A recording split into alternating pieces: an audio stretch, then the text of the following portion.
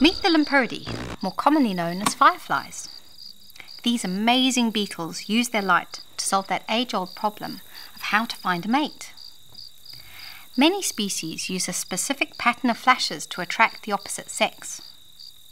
Femme fatale fireflies exploit this behavior to solve another age-old problem, how to find a meal. Their solution? Mimicking the mating flashes of other fireflies. Fireflies glow because they have a gene for producing light using a simple chemical reaction. The fuel that drives that reaction is ATP. Without ATP, there is no light. We can exploit this reaction to test for ATP.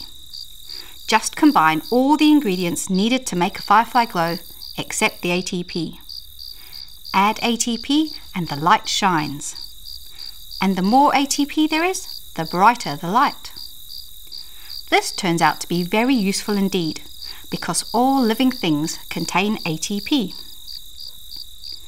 Want to know how much life your kitchen sink or mobile phone is supporting? Just swab it and see.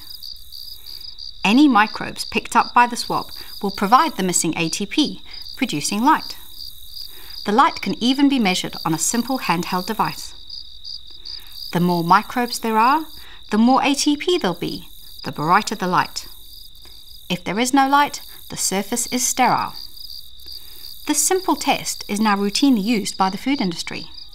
But it's also being explored by NASA to check for microbial contamination during spacecraft assembly. They do this to protect outer space from potentially harmful earthly microbes. This is important both to preserve our ability to study other worlds in their natural states and to avoid contamination that would obscure our ability to find life on other planets.